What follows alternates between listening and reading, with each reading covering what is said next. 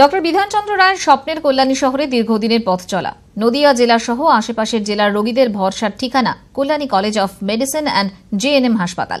রাজ্য সরকারের উদ্যোগে আরও আধুনিক হয়ে নতুন চেহারায় ধরা দিয়েছে এই হাসপাতাল।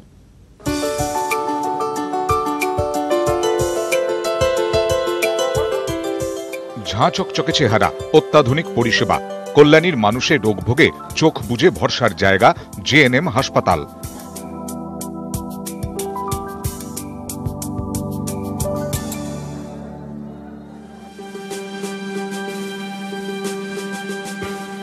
দু হাজার দশ সালে এই হাসপাতালে তৈরি হয় মেডিকেল কলেজ। এখন কল্যাণী জেএনএম হাসপাতাল রাজ্য স্বাস্থ্য বিশ্ববিদ্যালয়ের আওতায়। রাজ্য সরকারের উদ্যোগে পাল্টেছে হাসপাতালের পরিকাঠামো। প্রতিদিন বাড়ছে রোগীর চাপ। পাল্লা দিয়ে বেড়েছে পরিষেবাও। নিখরচায় বিভিন্ন পরিষেবা পেয়ে হাসি মুখে হাসপাতাল থেকে বাড়ি ফিরছেন মানুষ। হাসপাতালে আটশো পঞ্চাশ থেকে নশো বেড। আইসিইউ পরিষেবা চালু হয়েছে। এসএনসিইউ ডায়ালিসিস পরিষেবাও রয়েছে।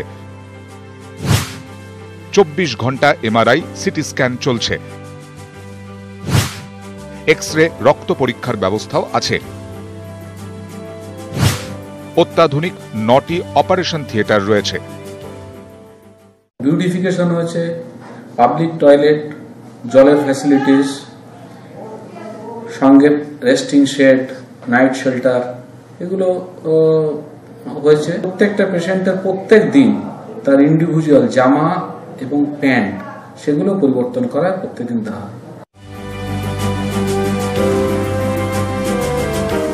কল্যাণী জেএনএম হাসপাতালে রোগীদের চাপে আরও বেডের সংখ্যা বাড়ানো হচ্ছে।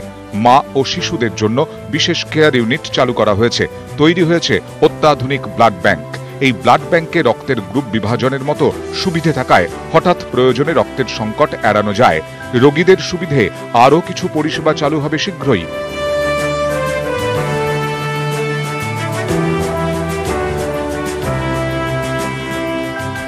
এছাড়াও হাসপাতালের নিরাপত্তায় একাধিক পদক্ষেপ নিয়েছে হাসপাতাল কর্তৃপক্ষ। শুধু নদিয়ারই নয়, আশপাশের এলাকার মানুষও রোগমুক্তিতে খোঁজেন কল্যাণী জেএনএম হাসপাতালকে। নদিয়া থেকে রঞ্জিত সরকার নিউজ এইটিন বাংলা।